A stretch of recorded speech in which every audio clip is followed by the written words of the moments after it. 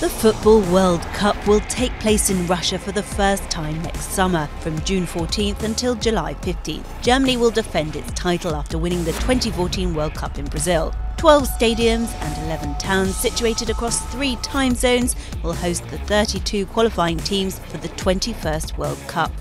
Both the opening match and final will take place in Moscow in the iconic Luzhniki Stadium, formerly known as the Central Lenin Stadium, which can host more than 80,000 spectators.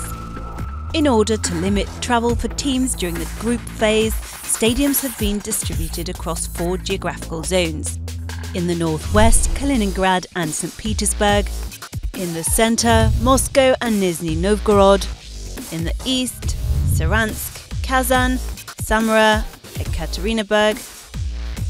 And in the south, Volgograd, Rostov-on-Don and Sochi with an average distance of 600 kilometres between host cities and 3,000 kilometres separating the most eastern location from the most western, travel logistics for supporters and sportsmen is one of the most demanding aspects of the competition. But it's security which poses the biggest challenge for the world's largest sport event. Russia faces the twin threats of terrorism and hooliganism.